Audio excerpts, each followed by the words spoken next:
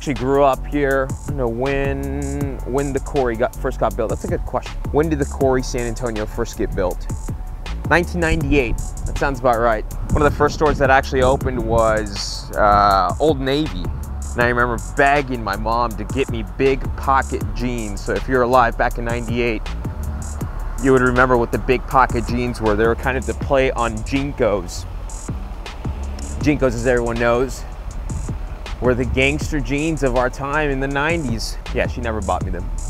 I've seen a couple of shops come and go, Paxson being one. You'll find a corner bakery at Paxson, where Paxson used to be. Nonetheless, it's here, it's surviving. I don't think it'll be like that too long of a time. I think eventually things are gonna have to change here, but we'll see.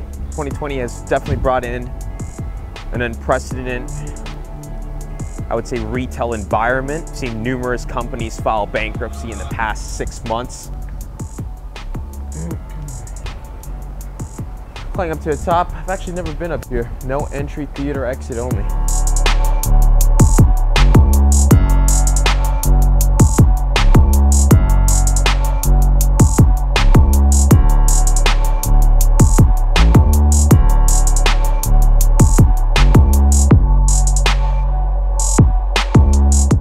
All right, this is another episode. Today's topic, we're actually tackling the idea of retail for the past 10 months. Nonetheless, we're here. So November, we're getting ready to start the holiday season. Big question is how are holiday projections, holiday earnings going to look, right? We know and we understand that for the past 10 months, retail has been in a slump. Even before the pandemic, retail was already in a slump. With the pandemic hitting, no one is going to stores. No one was going to stores. No, no one was uh, really interacting inside the mall.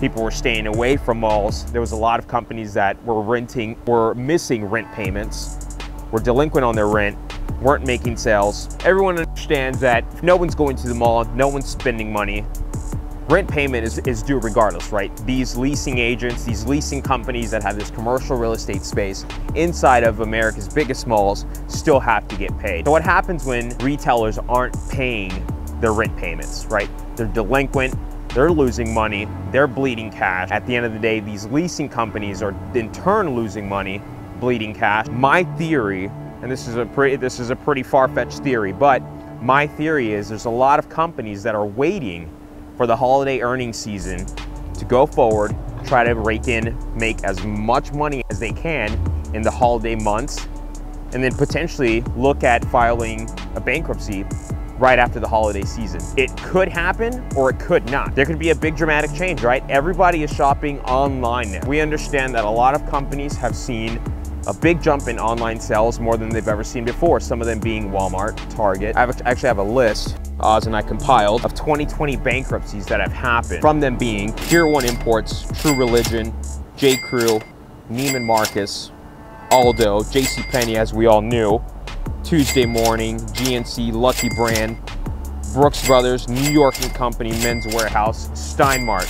Some of these companies are publicly traded, guys. Publicly traded. We know that it's going to be a big dramatic shift in either the way that people shop or a big M&A, mergers and acquisitions process that's gonna happen in its sector. Who knows? Who knows, it could go one way and it could go the other. I won't make the bold statement that there's going to be an apocalypse as much as I want to make that statement, but it very well could. So the question that we have to ask ourselves is what's going to change? What's going to change in terms of how you and I shop day to day, go to the mall, interact with these companies? What's going to happen with the space, right? If enough companies begin to move out of these retail establishment, brick and mortar stores, what happens to the actual commercial space that's there? Does it get converted into a different type of building, a whole hotel? We don't know, but that's definitely the question we want to be aware of and we want to stay vigilant on. That's all I have for you today, guys. Hope, uh, hope everyone kind of begins to think in a different manner in terms of what the retail sector is doing, what the market is doing, and evidently, I mean, what the market is telling us about retail. Hope to see you guys soon. Stay safe.